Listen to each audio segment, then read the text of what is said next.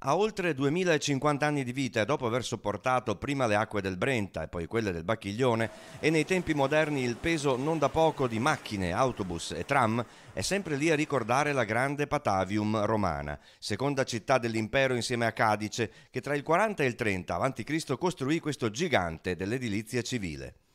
Ponte romano diverso dagli altri per i tre archi ribassati, lungo 53 metri, largo 8,5.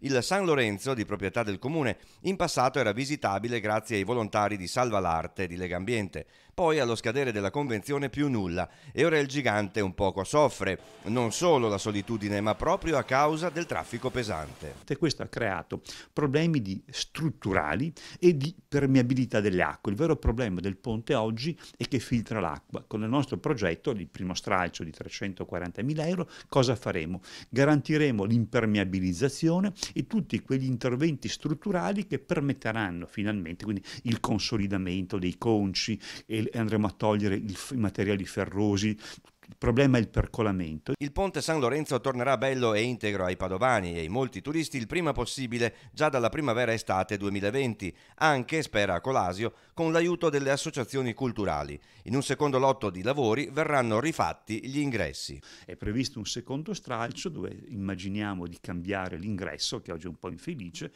realizzando un ascensore.